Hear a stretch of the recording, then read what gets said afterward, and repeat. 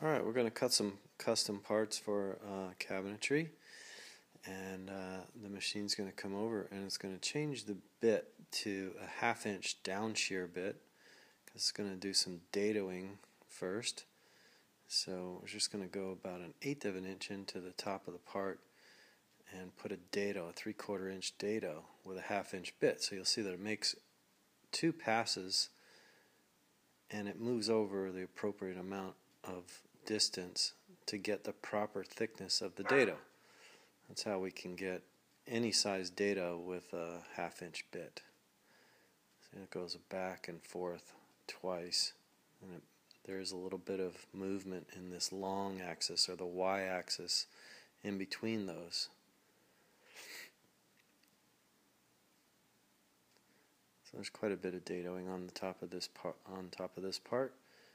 See there's two thick shelves that are right next to each other and it's going to be built up to a, a two inch solid looking shelf with a little uh, half inch space in between.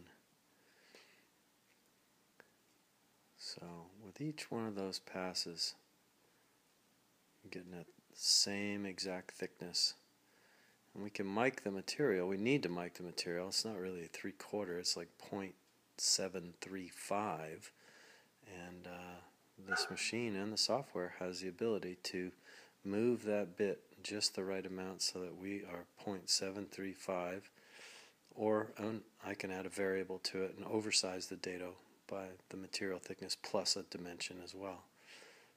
I think it's oversized at about 128th of an inch. It uh, lets us slip it in there without fighting it too much. There is a little bit of uh, variation in the thickness of the material, so you're better to be just a little bit wider than narrower. Now it's going to change to the outlining tool. It's going to be a half inch compression bit where that bit right there shears up from the bottom and shears down from the top so that it doesn't tear out at the bottom of the sheet or the top. Now this machine is set up to link the outlines. Notice that that went down into the material and it's not coming up. It's not cutting one part at a time and then moving and cutting another part.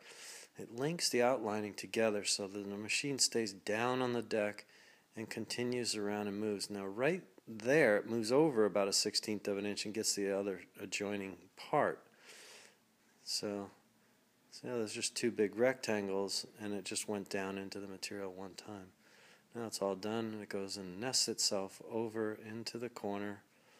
The, you'll see the pins come up. That's when the vacuum is released.